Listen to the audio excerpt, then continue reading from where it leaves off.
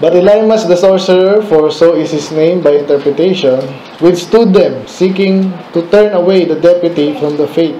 Then Saul, who also his own Paul, filled with the Holy Ghost, set his eyes on him. And said, O full of all subtlety and all mischief, thou child of the devil, thou enemy of all righteousness, wilt thou not cease to pervert the right ways of the Lord?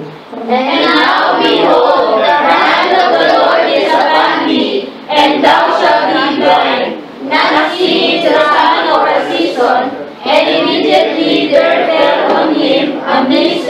darkness, and he went about seeking some to lead him by the hand. Sabay-sabay po tayo. And the deputy, when he saw that what was done, believed, being astonished at the dark reign of the Lord. Let's pray, Panginoon, ma'am, salamat sa inyong uh, kabutihan sa amin, katapatan. We pray na kayo palagi ang gagabay sa amin, sa mga batang tuloy, isang magsawa, Panginoon, mahalin nila ang salita. Gamitin po ang Panginoon, paglilingkod. Uh, wala kami gagkasawaan dito, Panginoon. Pag, pagkos, Lord, kabaliktarin ito, at kami po uh, lalo maglilingkod. Uh, ayusin namin ang aming paglilingkod, magmamature, bawat isa. Mga masanay, matrain po yung mga sa music, kung saan may soul winning, para kami po mas effective. Nasa church, Panginoon, hindi lang individuals. So, we pray na kayo po namin. Ano sa amin, gawin niyo po yung mga kwento dito, aral. Ang salita, Panginoon, na napaka nakapangyarihan naman. May, aming may tindihan at i-apply sa aming buhay. Kaya pong lalati. In Jesus' name we pray. Amen. Ngayon, makapo na po. so, Nay, wala akong tubig. Okay, so... Good evening po. Good afternoon. So, mabilis lang tayo. Medyo late na tayo, no? So, naiinib ba kayo sa church? Hindi naman mukha, di ba? Excited kayo kaso may time ng pag-aaral, may time mag-behave, di ba?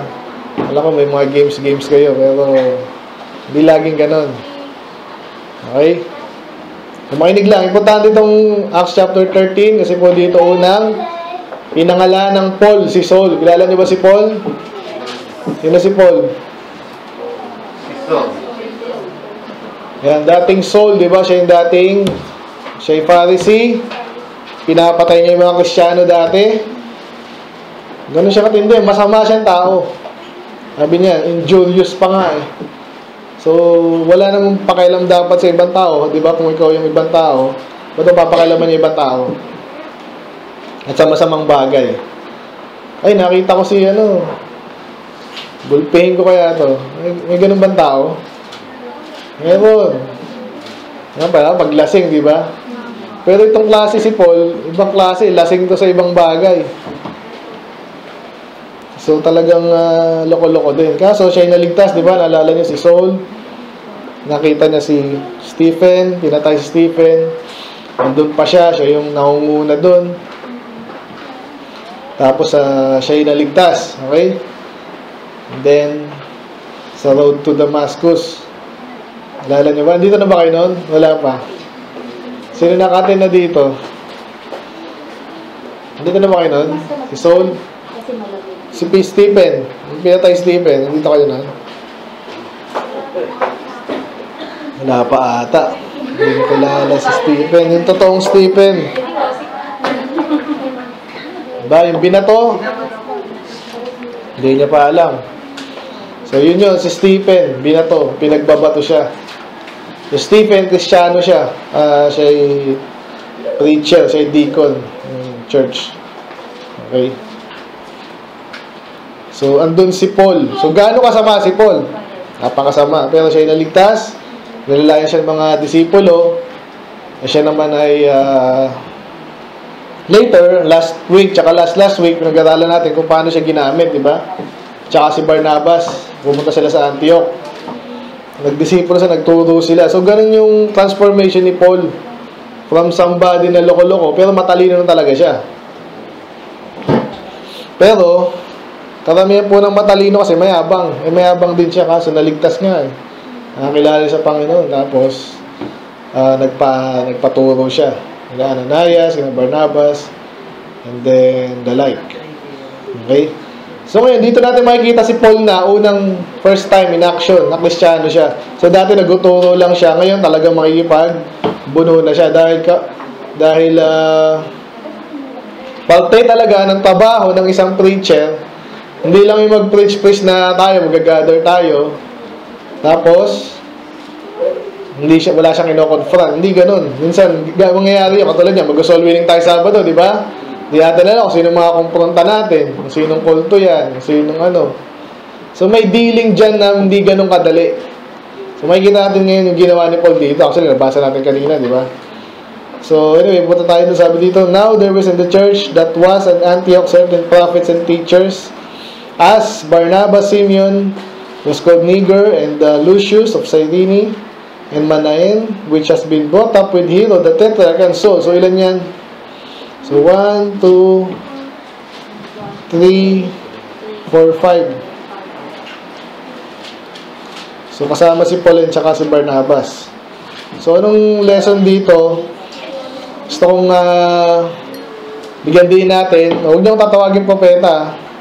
Pero yung propeta, ano lang yan? Sa New Testament, yan yung mga preacher. Kahit naman dati preacher ang prophet talaga. Pero iba na yung ngayon, hindi na katulad ng dati na nagusulat sila ng libro, tapos yun ay gagawin Bible. Okay? Yung malaking pagkakaiba. Okay? So, pero may mga nare-reveal pa rin sa atin. Pero yung mga, yung mga modern, modern day prophet ngayon, alam mo agad si Raulo eh. Kasi, hindi mo na kailangan tawagin yung gawin mong title sa iyo yung propeta. Okay? So, pero sabi na dito, prophets and teachers. So, medyo magkalapit yan. Okay? So, yun nga, si, si Solid Bernabas, andyan. Ito mga iba, hindi natin masyadong kilala eh. Kaya alam mo, yung mga ibang church, sinasanto to. Yung mga Lucius, Manayan, yan. So, ilang po yung prophets. Yun yung aral doon, okay? Pag may nagsabi, pupeta ba yung pastor nyo? Sabihin nyo, oo. Pero tawag namin sa kanya, pastor lang. Okay? Pero, huwag tayo magtalo doon. Amen? Kasi iba dyan, naggaganyan lang. Tinitip, tinibigyan ng title sa sarili lang para bakit lang. Tsaka pabida. Okay, yun lang yun. So, tanong, meron pa bang pupeta ngayon? Ayun na nga, depende, sabihin mo. Anong ibig sabihin ng pupeta? Yung katulad ni Elijah, uh, tawagin yung apoy, patay. Parang ano eh. Ngayon, sa mga games na lang makikita yung ganun, di ba? So, wala nang ganun. Di ako naniniwala meron hindi natin kailangan yun. Pero kung ibig niyo sabihin preacher, prophet, meron. Men? Malinaw na yun, ha? Okay, hindi natin kailangan ulitin yun. Sabi niya, and they ministered to the Lord and fasted and the Holy Ghost said, Separate me Barnabas and Saul for the work whereunto I have called them. Okay, so sila, anong ginagawa ng mga prophet tsaka preacher? So, bukod sa nagpi-preach, naguturo, nagsasaway din minsan pag may makulit. Ganun ba yun? Sila yung nag-fast. Ano yung fasting? Minsan sila ay hindi kumakain. Okay? So, hindi ang fasting po sa Bible, hindi yan, ano lang, pabida lang, tsaka magpapayat. Lagi ang kasama yan. Pag ikaw yung nag-fast, ikaw ay nag, ano, verse 3, nagdadasal. Okay? So, and lay their hands on them. So, ito pala sinabi sa kanila ng Holy Ghost. Sino Holy Ghost? Sino Holy Ghost? Sino Holy Ghost? Na bata, kilala niyo si Holy Ghost? Nagpakilala naman sa'yo? Banal na spirito, kaninong spirito yun? Sa Diyos, di ba? So, pag sinabing the Holy Spirit, the Holy Ghost said, so, ang Diyos din na nagsabi nun. Okay? So, ano sinabi ng Diyos? Separate me, Barnabas and Saul, for the work whereunto I have called them. Sa Tagalog, ihiwalay nyo si Barnabas and Saul kung saan ko sila tinatawag. Okay? Anong problema dyan? Kanina ba kayo? Hindi kayo makakapakinig pag ganyan. So, pag nag-aaral tayo, kaya importanteng makinig kayo, mga bata, kasi hindi naman sa hindi uulitin, pero ulit-ulitin natin to. Pero minsan sayang, di ba? Minsan lang natin dadaanan yung acts. So, natapos na nga kami sa Matthew. Diba? Sa, sa Proverbs, tapos na kami, iniisa-isa natin yan. Masayang naman pag may naligta, nalagtasan kayo, di ba? Dahil inaantok ka or something, di ba? Kaya lagi sinasabi ni Pastor sa amin, magtira ka kahit dati kami, galing ka pa kami ng trabaho, pupunta pa ng church. Sabi ni Pastor, magtira ka naman ng konting ano. Di ba kasi magkatrabaho, pupunta ka ng church, tulog. Di ba? Kasi kailangan natin concentration, amen? Makinig lang, makinig. Ako na gumagawa lahat ng trabaho, eh, kayo makikinig na lang eh. Huwag magkukulit eh. O, sino ulit yung bida dito sa Acts 13? Lian? Stephen sa ano yun? Sa 6. Nabanggit ko lang. Sino? Si Jesus. La lahat naman buong Bible siya ang bida eh. Pero pinag-usapan natin karakter ngayon. Sino? Si Paul. Okay, at least may nakikinig pala dito. Ala ko, wala eh. Si Paul, di ba? Kanina pa. Siya yung dating Saul, naging Paul. At from Acts 13, siya nang bida buong hanggang matapos ang Acts. So, ganun po siya katindi. Ilang chapter ang Acts? 28. From 13 to 28, siya na. So, kaya ang dami rin niya sinulat na epistle. Okay, kailangan niyo makilala si Paul. Hindi niyo pwedeng hindi kailalaan yan sa, sa New Testament. Okay? So, dito siya unang sineperate. Pag sinabing separate, kunwari dito, eh, Stephen, di ba masahan masyado eh. Kunwari, si, si Peter, naging talagang nag-mature. Talagang preacher na rin siya. Soul winner pa. Mari lang, no? Hindi na siya pwedeng piano-piano lang. Dapat, ano, sasabihin ng Diyos sa atin, sayang naman si Peter. Dapat ihiwalay mo yan, di ba? Ganun yun. Kung magmamature kaya kung hindi, diyan ka lang. Lagi ka lang sinasaway. Kasi wag ganun, tandaan mo na, sinasaway ka pa. Kamusta si brother, ano? Siguro malaki na yun. Ayun, pasaway pa rin. so, bu- bu- baka sa Sabado pala dadaan tayo din sa, ano, benta sa akin ng honey. Mura na eh, tingnan natin. Mga tulong lang kay Pastor Jun. So, may kita niya, may church din doon. So, minsan ganyan kami mga pastor, "Oh, kamusta yung dating mga atin dyan? Yan. E sana nagmamature kayo. Para naman natutuwa yung mga tao nagtatanong, kamusta naman si ganyan? So ngayon si Barnabas and Saul, nakita na natin from the previous chapter, di ba? Talagang mature na sila, nagtuturo na sila. Tinulungan pa naman nila yung ano, Antioch, di ba? So mature na talaga sila. Ngayon, as- ang Diyos na nagsabi mo sa, mismo sa kanila, sabi, ihiwalay mo na yan sa gawain kung saan ko sila tinawag. So, pagtandaan nyo yun, ha? Hindi tayo naghihiwalay dito ng dahil lang mayaman to, ito, mukhang ano. O, dito yung mga sexy, ha? Dito yung mga pangit. Hindi tayo ganun. Ang sabi dyan, dahil sa trabaho kung saan ko sila tinawag. So, may trabaho kang gagawin. Amen? So, ganun sa church. Kaya ka niligtas ng Diyos para ano, papakit ka lang sa church. Hindi ganun. Paporma ka lang.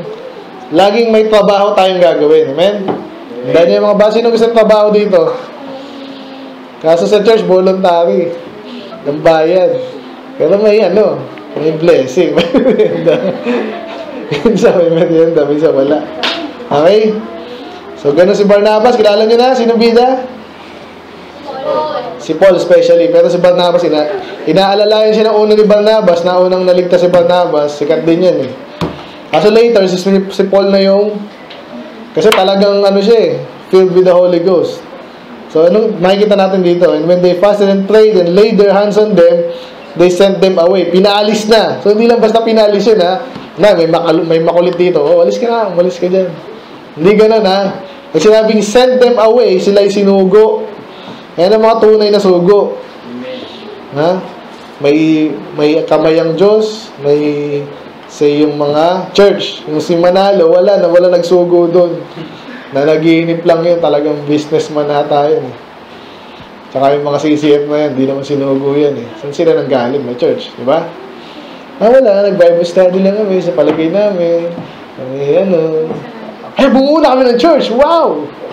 Ganun pala, ganun ba nagsimula ang church? Hindi. Okay? Yung, ang tunay na church, nagsimula yan sa another legitimate na church, isusugo sila. Amen? Dahil niyo yung part na yun. Kasi sabi dyan, so they being sent forth by the Holy Ghost, so sino nag nagsugo sa kanila? So sabi kanina, yung church. Sa, ngayon, sabi, sent forth by the Holy Ghost. So, pareho lang yun kasi, ay yung, yung Diyos lang nagsabi sa church eh. Tapos yung church, sinugo yung missionary. O di parang ang Diyos na rin nagsugo doon. Amen? So, sila ay umalis na at sila ay mayroong pinuntahang ah, lugar. So, ganun yun. Especially sa kanila dati, pero actually kahit sa atin ngayon, hindi ko pwedeng, oh, iba Bible ko na lang yung mga taga, ano, hindi pwede yun. Yung ba, kailangan doon ka mismo tumira. Kasi sabi dyan, they preach the word of God. Anong ginagawa ng missionary? They preach the word of God. At dahil sa panahon nila, ang mga talagang ah, maraming tao at may kinalaman salita ng Diyos, doon sila nag-gather sa synagogue. Parang church na yun. Nila dati. Okay? Ang mga Hudyo. And they had also John to their minister. So, hindi ko sure kung sino John to. Okay? Anyway, who, and when they had gone to the isle and to Paphos, they found a cer- certain sorcerer, a false prophet, a Jew, whose name was Bar Jesus. So, again, kung hindi familiar, yung, yung, yung name actually ng Jesus sa kanila, mayroon pang isa dito eh. Aside from Jesus, ito, Bar Jesus, mayroon pang isa. So, anyway, siya ay false prophet. Ano yung false prophet? So, kanina yung, yung prophet, ano yung prophet? Preacher, na totoo. Anong pinipreach ng preacher? Na totoo. Anong pinipreach? Nakikinig pa ba? Ha? Salita ng Diyos. Ano ba salita ng Diyos? Marami yan, no? Ito lang, ang haba eh. So, pero isa-isa yan. Isa-isa. So, sila, sila yung nag-preach, pero meron ding mga false prophet. So, tandaan natin lagi yan. Sa, sa, sa, sa Bible, hindi ka lalayo dito. Lagi yung makikita kalaban eh. Kasi kaya nakakasalo yung mga church na mga DCF, BCF. Ilang taong ka na doon, hindi mo may ka, parang ayaw nilang pag-usapan yung mga ganyang bagay. Kasi samantalang pag Bible, lagi siyang nandyan eh. Kasi hindi mo talaga matutunan ng katotohanan kung hindi mo pag-uusapan yung kamalian, yung kasinungalingan. Lagi yung magkatandem. Para maitaas, para ma-highlight yung katotohanan, nag-aaralan mo rin yung mga kasinungalingan. Amen? So, kalaban to. So, siya ay Hudyo, pangalan niya Bar Jesus, at meron pa siyang isang pangalan, Elimas. Anyway, so meron tayong isang karakter dito, yung sinasabing deputy.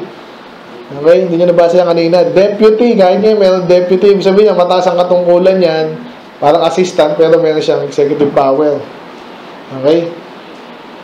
Sabi dyan, which was with the deputy. So kung parang tinitingnan ko dito, siya ay either kaibigan, o kasama, o basta kilala nung tong false prophet.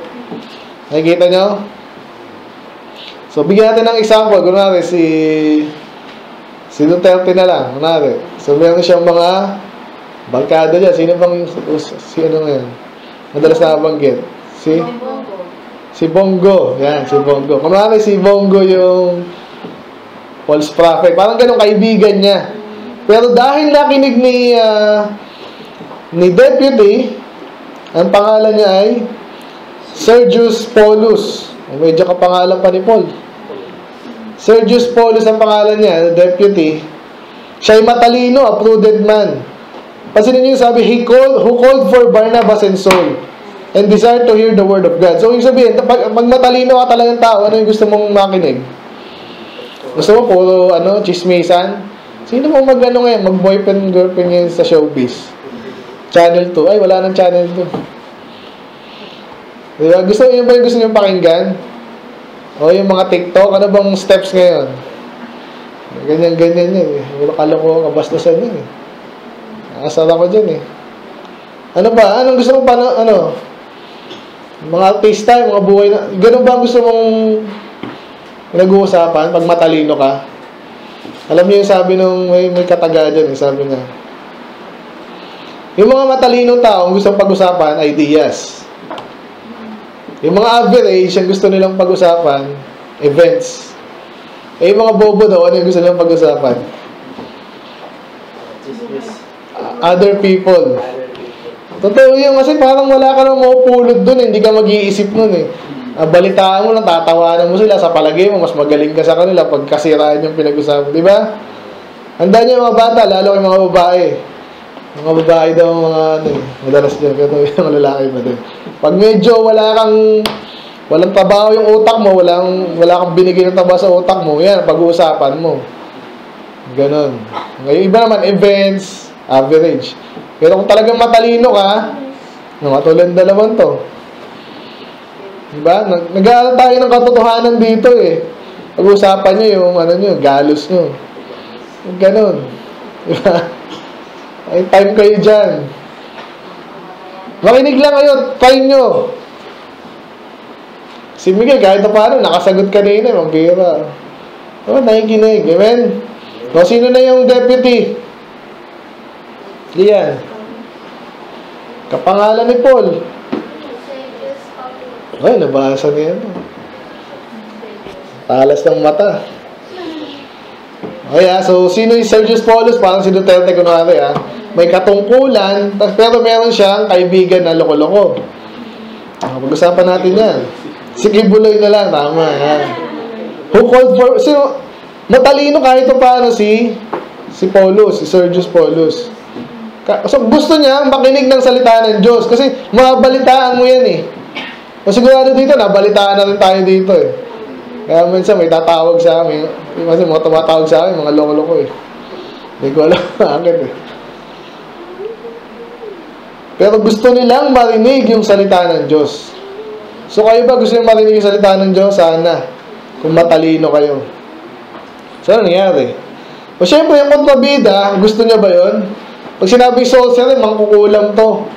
So kayo ba, nangkukulam ba kayo? Wag, lalayo kayo dyan. Ha? Tanda, tandaan nyo to, baka may iba sa inyo kasi kahit sa amin dati, meron si daddy, di ba? Ay, hindi alam ni daddy. Dati may nagtatawas dyan sa ano eh. Nung bata kami, pag, pag masakit daw tiyan mo, nabati ka, lagyan mo ng dura, lalong, lalo, baka lalo kang na virus niyan. So kahit sa kanila dati, ang mga Hudyo, ma- mga ganyan, sa, ng- ngayon ang mga Hudyo, ano yan? Ang daming uh, na, na-research ko lang yung sabi nilang kabala. Yung sabing kabala, alam yung kabala, hindi nyo alam yun eh. Pero yung mga Hudyo, mahilig yan sa mga superstition. Ngayon, umiwas tayo dyan, amen? Basta sorcerer, sorcery, magic. Ay, maganda yung laro yun, ah, magic. Kalokohan yan. Ginagawa yung mga demonyo, di ba? Nilalaro-laro mo.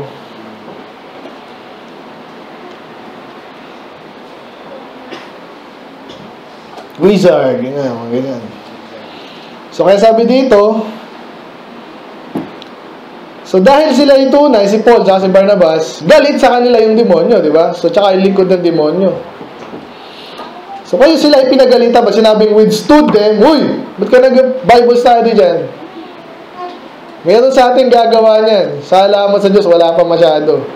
Pero pag may gumawa niyan, Bible ang dala mo, katotohanan, tapos gagawin ka ng ganyan, hindi yan basta-basta.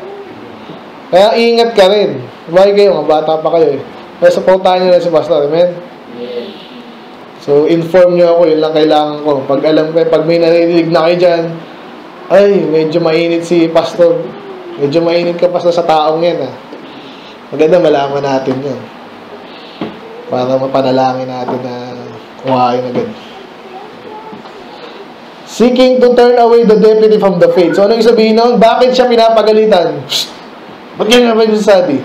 Kasi itong si, ano, yung kaibigan niya, medyo Again, di sinabing kaibigan dito, pero yung malapit sa kanya, ayaw niya na maligtas. Ganun yan, magkalaban yan. So, yun na, binabasa lang natin dito, nakikita natin ang actual na nangyayari din sa reality. Yung mga anak ng demonyo, ayaw sa anak ng Diyos, at yung mga hindi pa anak ng demonyo, hindi pa anak ng Diyos, unahan yan, unahan tayo yan. Lagi. Kaya magkaaway ito. Makikita nyo yung gagawin ni Paul. So, yan na. So, then Saul, si Saul? Si Paul, si Saul, Paul. Isa lang yun.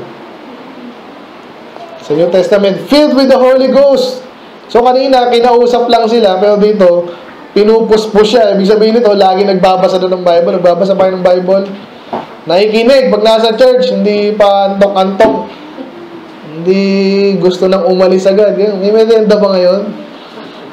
Wala naman pala eh. So dahil si Paul ay filled with the Holy Ghost, nagbabasa, alam niya yung salita ng Diyos, alam niya ang kalooban ng Diyos, gusto niya yan. Anong ginawa niya din sa lokolokon to? Ay, pabayaan natin, ganun ba yun? Eh, may kailangan silang gawin dun eh. Tapos pinapagalitan sila, pinapalaya sila. Alam ni Paul, may mga tao ng Diyos dun. So, anong ginawa niya? Tandaan niyo to ha. So, kaya kahit sa inyo, sabi ko lagi sa inyo eh. Minsan, papagalitan ako sa inyo. Kasi hindi ko alam dito, sumasama kayo lahat dito, hindi ko alam kung sino yung ligtas talaga. Sabi niyo naman, tumanggap ko sa Panginoon. Pero kahit si Judas, Judas nga eh. Minsan, hindi yan, hindi yan magpapahalata. Okay? Kaya, yan. Sabi ni, sabi doon, set eyes on him, tiningnan ng masama. Set his eyes on him. At ano sinabi niya? And said, oh, full of all subtlety and all mischief. Okay, paliwanag natin. Pag sinabi mischief, ano yun? Panloloko, di ba? Tinignan natin dati yan eh. Anong kinalaman yung subtlety? Ano yung subtlety? Yung parang uh, nagkunwari. Okay, marami ang kilalang ganyan. May ngayon nga, yung sina kilala natin church sa US eh. Kasi nga talagang ginagamit sila ng Diyos. Gusto na, gusto na sirain. Naman, ay kaibigan, pero bandang muli, kalaban pala. Pero hindi, kaibigan mo ako, kaibigan mo ako. So dito hindi sinabi kasi kung ano sinabi ng sorcerer, di ba? Basta sabi lang dyan, sila ay pinapagalitan.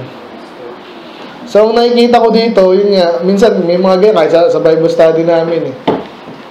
Makahalata mo kung ano yung gustong gawin eh. Gusto lang parang manira. Manggugulo, magpapasok ng isang topic na alam nyo controversial, tapos eh, merong sa, may program kami dito, ba't may papasok ngayon yan? Tapos magde-demand ako, pakinggan nyo ako, di ba? Ganun yun, kaya i-deal mo yan pag ikaw yung leader. Nakakasunod pa ba yung bata? Medyo mata, ano tayo ah. Imagine nyo lang to, mangyayari to. may kalaban ng Diyos, Anong ginagawa ng lolo ko? So, mangyayari sa inyo yan. Ngayon, di ba? Ngayon, nasaya tayo dito.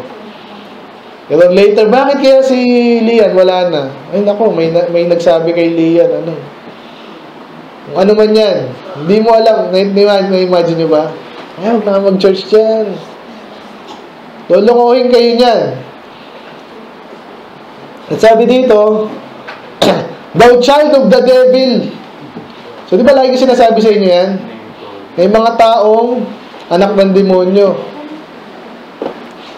So, anong gagawin ng anak ng demonyo? Gagawa ba ng mabuti? Anak nga ng demonyo eh. Nako.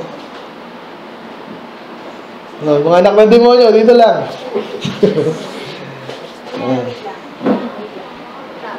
Panay kayo siya pag umiinit na ba yung preaching?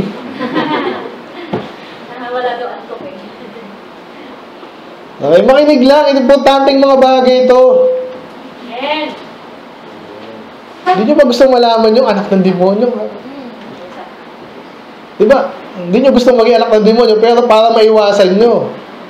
Di ba? So, anong ginagawa ng anak ng demonyo, Chelsea? Anong masama? Specifically. Sinabi natin kanina. Anong masama ang ginagawa nito mga to? Nangaaway, saka yan, mischief, tsaka subtlety.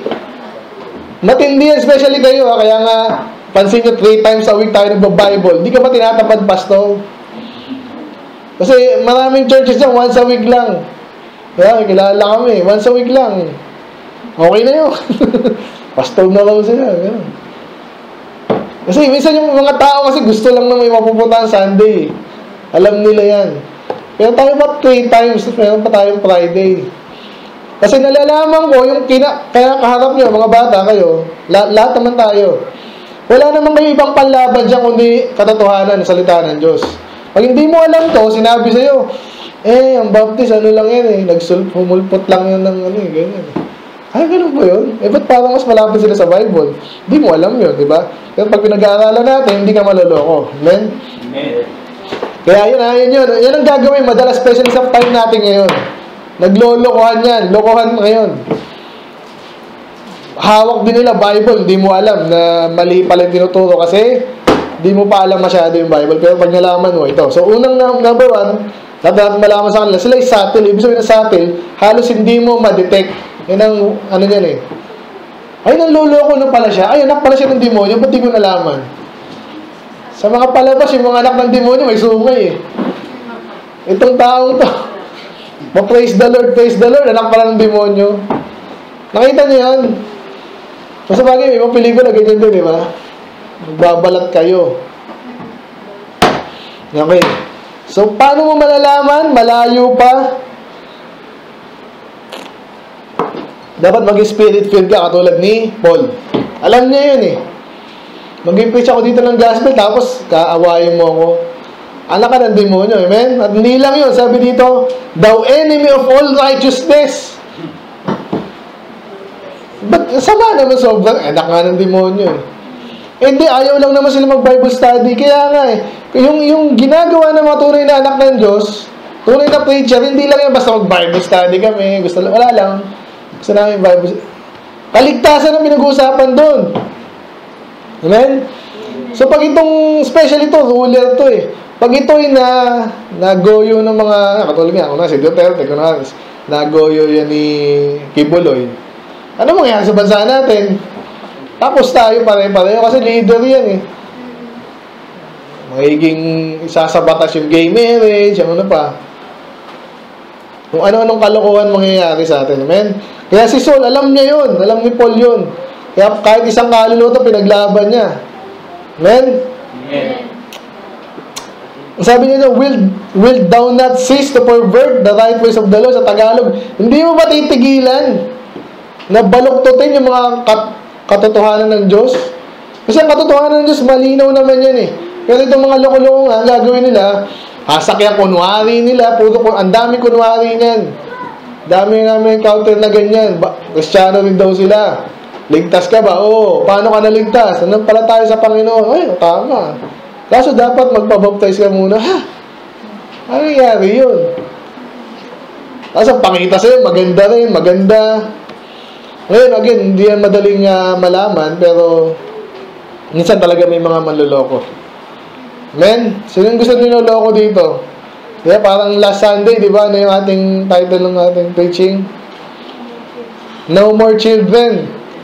TOS 2 and Pro. Kasi dali yung bulahin kasi nga hindi ka pa masyadong marunong. Pero pag tumalino ka, kahit bata ka, maniwala ka. Yung dapat mong malaman una sa lahat. Una, pag kristyano ka, sa Bible ka kukuha ng aral, hindi kung saan saan. Eh, paano kumuha din daw sa Bible? Hindi alamin mo, ikaw mismo, tingnan mo, yung tama ba yung sinasabi niya. Amen? Amen. So, yun yun. So, may mga tao, yung sinasabi niya, linaw. Pag sinabing pervert, binabaliktad, bin, iniikot. Yung tama, ginagawang mali. Yung mali, ginagawang tama. Ang daming ganyan. Kaligtasan lang eh. Paulit-ulit sa Bible. Not of works. Let's anyway. Hindi, pero actually, kailangan mo din. Ano ba talaga? So, gusto kong ano yun yung Calvinism na naman eh. Pero inaaral ko pa rin. Kasi dami ng, ano eh, dami ng sinisira niya. Okay? So, sabi dyan, so, tinatanong lang naman niya, di ba? Pero hindi siya natapos doon, may sumpa. Ganito ka, si Paul eh. Kasi talagang siguro si Raulo talaga, anak ng demonyo, di tinapatan niya, ano ginawa niya? So, sinumpa niya, nabulag. And behold, the hand of the Lord is upon thee, and thou shalt be blind, not seeing the sun for a season. Buti nga, hindi tuluyan. Sandali lang. Siguro, ibig sabihin, gusto lang niya sampulan din. Diba? And immediately there fell on him a mist of, in the darkness, and he went about seeking some to lead him by the hand. So, biglang nabulag. At nagulat syempre yung tao. So, miracle po yan ha, miracle. Pag sinabi miracle, hindi yan lagi nangyayari. Baka may kalabang kayo, Pastor, kalabang mo to. Bulagin mo nga, Pastor. Huwag ganun ha. Bula, ikaw na lang bumulag. Sundutin mo yung mata. Pero ito, imposible, di ba? Yun yung gagawin nyo na. Ngayon, kung anak talaga ng demonyo, panalangin mo lang. Amen? O, allowed yun. So, ito yung gusto kong pansinin natin ngayong gabi. Sabi niya, Then the deputy, when he saw what was done, he believed. So, ibig sabihin, siguro magaling din to mga false prophet. Eh. Mas magaling magsalita. Eh. Alam niyo ba yun? Eh, no, magaling talaga magsalita. Kasi, biruin mo katoto yung katotohanan, madali lang i-preach eh. Kasi nga, totoo na yan eh. It will manifest itself. Ang patunayan niya, simple lang yung... Ngayon, mga, bakit yung mga false prophet ang gagaling magsalita? Kasi kailangan nilang maging magaling. Kasi yung, yung kalokohan, hindi yan madaling paniwalaan. So ngayon, gagawin nila, pinapractice po nila yan, maniwala kayo. Yung alam, inaalam nila yon kung paano, pati yung lighting niya, pinag-aaralan nila para may psychology nila yung mga tao. Para lang maniwala sa kasinungalingan. Yun ang totoo. Anyway, eh, sinumpa ng Panginoon, anong ni Paul, at nabulag siya. Okay? So, pero sabi dito, yung deputy ngayon, naniwala siya ngayon kay Paul. So, kaya naniniwala ako dito, siguro, gusto mo ng Diyos na maligtas yung deputy, kaso hirap siya kasi ang kaibigan niya, kibuloy. Diba? Ganong kaloko eh. Magaling magsalita, kaso, baliktad ang utak. Wala ba kayo dyan? Ito na lang, dito na lang kayo. Kanina pa eh. Sa Acts 13. Nasa 12 tayo. Then the deputy, when, naniwala siya, sabi dito, Di, bakit siya naniwala? Dahil nabulag, isa na yun, I believe. Pero sabi dito, sinabi kasi dito, being astonished at the blindness. Ganun ba yun? Saan siya na-astonish? Nagulat siya kasi sa doktrina ng Panginoon. So, yung sabi ko sa inyo lagi na, kaya rin pag-aralan to, pag-aralan to, kasi makapangyarihan to. Pwede mong, yung ibang taong, kahit si Raulo yan, pwede yung magbago dahil sa salita ng Diyos. Kung marunong kang gumamit, yun yun. Kasi sword of the spirit nga to, di ba? Ito, ito, parang sword, di ba? Kahit maganda yung sword, di ka marunong gumamit, mananalo ka ba? Hindi rin. Baka isang ganyan lang sa ito, no? Ang ganda ng sword mo, di ba? Nabitawan mo na. Hindi ka marunong gumamit, eh. Kaya salita ng Diyos dapat alam mo. Amen? Natin matatapos, ah.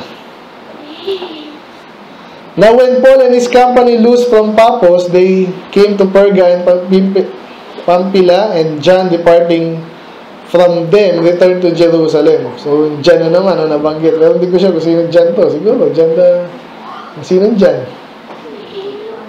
Okay, tapos na pala yun.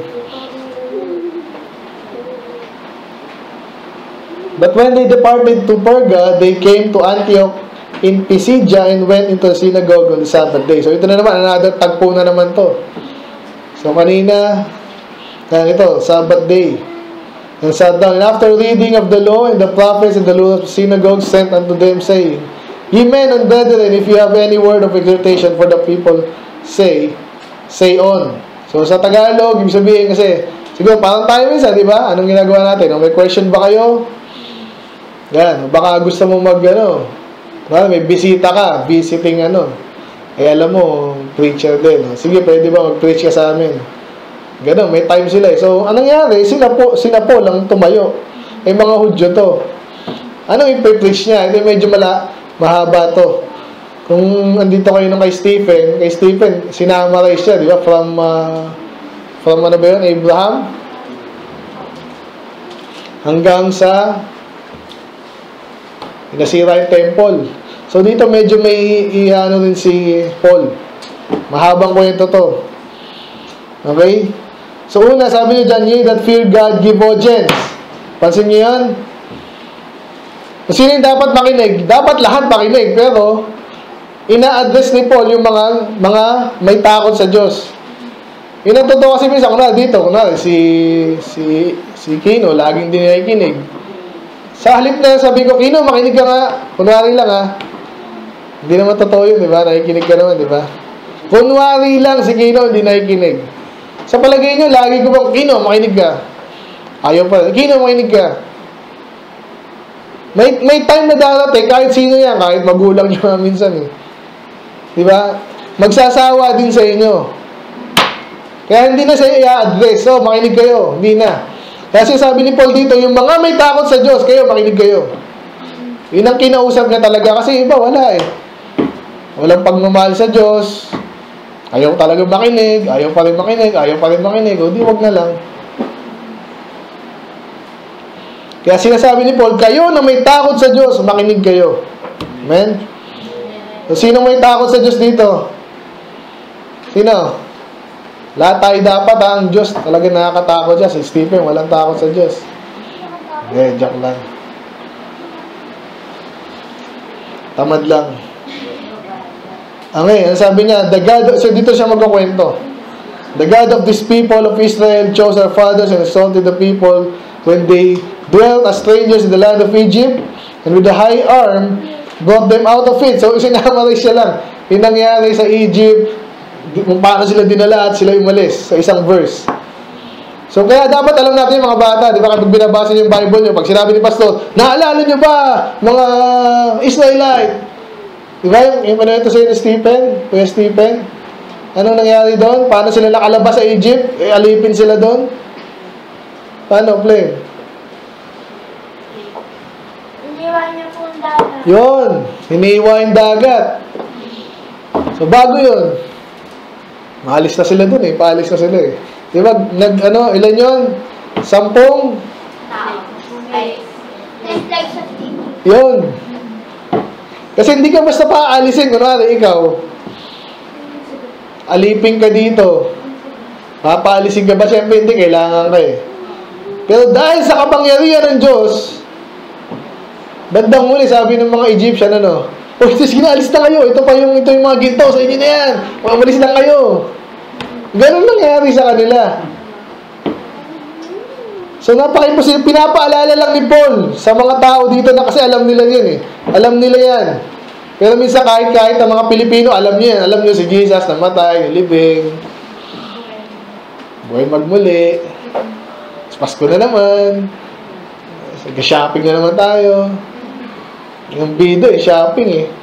So minsan alam mo yung nangyari pero yung preacher pinapaalala sa'yo, pasan ba yun? So ganun ginagawa ni Paul dito, ginigising niya itong mga to, alam niyo yung kwento pero alam niyo bang para saan yun? Pinatay niyo nga si Jesus, eh, kailan lang eh. Diba?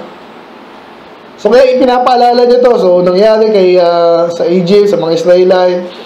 And then, hindi lang tapos yun doon. Nakalabas sila doon. Saan na nagbunta? Supposedly, sa promised land, di sila di sila agad nakapasok, di ba? Kaya 40 years, ikot-ikot sila sa wilderness. So at least, kahit paano, di sila namatay. Eh kung pinabayaan sila ng Diyos, patay sila doon, di ba?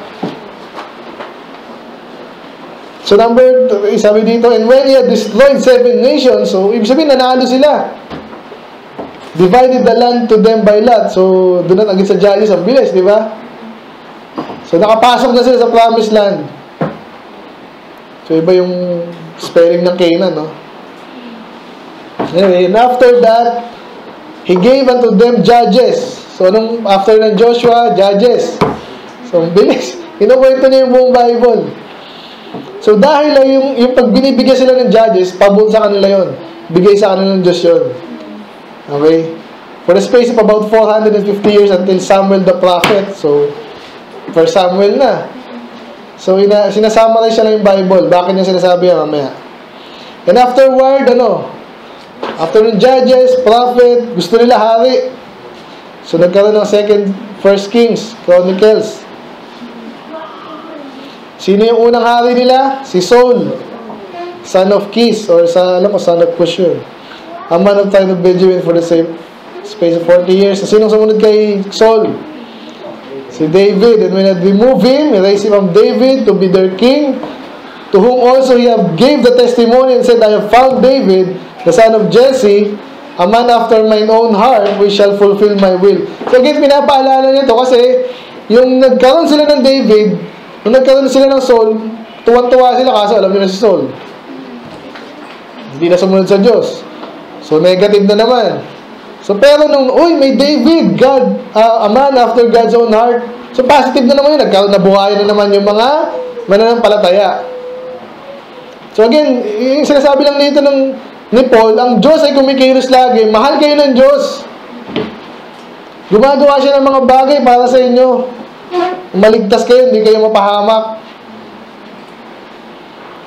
And then, after ni David, ano nangyari?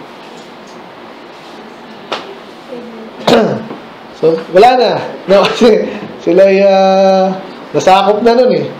So, pinutol na nito, pero ngayon, binug, binugtong niya yung nangyari sa recent past kay Jesus. So, itong si David pala, hindi nagtagal din yung kingdom niya eh. Pero ang pinangako daw pala dito, yung si Jesus. Okay? At si Jesus ang tagapagligtas. Ano nangyari kay Jesus? Ay, liligtas siya pala tayo eh. Kaso, pinatay nila. Okay? And then, bago pala yon si John muna, John the Baptist. Finish niya yung kaligtasan din. Sa magitan ng repentance, hindi yung repent of all your sin, ha? Yan ay pagtalikod lang sa maling pananiwala. And then, nung natapos na si John mag-preach, ang sabi dyan, inamin niya, hindi ako yung darating na propeta. Diba? Sinabi yun sa kanya eh. Hindi ako yun. Pero siya na darating sa akin na mas worthy sa akin. Kaya sabi niya, Men and brethren, child of the stock of Abraham, and whosoever among you feared God, to you is the word of God, uh, the word of his salvation sent. Sa Tagalog, yung, yung buong Bible pala, para sa inyo to. Amen? Kaya sinulat to para sa iyo, para sa iyo. Lahat sa atin, para sa kaligtasan. Lagi sinasabi ni Pastor, di ba? Totoo ba sinasabi ni Pastor? Yung sinabi ni Paul eh. Kaya yung kinuwento-kwento, lahat yung kwento na yun may kinalaman sa kaligtasan. At uh, darating kasi yung Savior, at yun na nga si Jesus. So wala tayong time. Dali, tignan ko lang ha. Mahaba pa to. Pero bilinin natin doon, amen? Gusto ko lang sabihin, importante ba yung alam natin yung salita ng Diyos? Pag hindi mo alam, katulad kanina, naiwang ka na. Kaya bibitinin natin ng konti, yung mga narinig nyo ngayon kay Pastor, sana mag-decide din kayo, alalahanin nyo yung mga kwento sa Bible. Kasi lahat yung may kinalaman sa kalooban ng Diyos. Yung mga may Moses, ten plagues, hindi lang basta-basta nangyari yun. Totoong nangyari yun, pero yun ay lahat may kinalaman, tuturo natin, tuturo tayo sa kaligtasan sa pamagitan ni Jesus Christ. Amen? So, importante ang Bible, maniwala kayo. Wala pang pumapalit sa Bible. Yung iba dyan, kwento-kwento lang. Avengers. Ay, ligtas mo kami kay Thanos. Hindi naman totoo lahat yun eh. So, nagligtas pa sa'yo, babaero pa. Diba? Loko-loko itong mga to eh. Niloloko tayo eh. Itong Bible, ito totoo. Amen? Sige, let's pray, Panginoon. Ma'am, salamat. At uh, next week, Panginoon, eh, itutuloy namin ang kwento, Panginoon, ng inyong dakilang apostol, Panginoon, sumunod sa inyo, dating masama. Nakita namin ang kanyang katalinuhan, ginagamit niya ngayon sa pagsunod sa pagtupad sa inyong kalooban, pagsunod sa inyo. At uh, nawa, Panginoon, maging inspiration namin si Paul upang uh, kung masama man kami noong past, kami uh, niligtas niya, Panginoon, na utang namin sa loob sa inyo, Panginoon, ang buhay, kaligtasan, we pray na kayo po katulad din ni Paul. May matapang, alamin namin yung salita, may pangaral, tiwala sa inyo, nagagampanan nyo doon ang pinangako nyo rin. Gagabayin, poprotektahan nyo kami. Doon si Paul ay makikita namin, the succeeding weeks, Panginoon, siya may, time na nag, nagulpi din siya, Panginoon, but we pray, may matapang kami, ang pagkitiwala namin sa inyo, ay nandun, o masaktan minsan, mahirapan, kami po'y napatuloy dahil in the end, Panginoon, kami uh, poprotektahan nyo pa rin. In the latter end, Panginoon. At uh, ito yung makabuti sa amin, malulugod kayo, at sa mas nakakarami, Panginoon, maraming maliligtas. So, pray na kayo po namin. Nagabay sa mga batang ito, Lord, bagamat terms, baka naiiwan pa sila sa mga discussion namin. Tiwala lang sila sa inyo, Panginoon. Uh, itong mga darating na taon sa kanilang buhay ay uh, dadagdag sa kanilang kalaman at uh, yung katibayan din sa mananampalataya, Panginoon, bigyan niyo po sa kanila. Tulungan niyo po sila and the rest of the church, Panginoon. Sa aming soul winning, kayo pong uh, mag-ingat din. Bigyan ng katagumpayan. In Jesus' name we pray. Amen. Amen.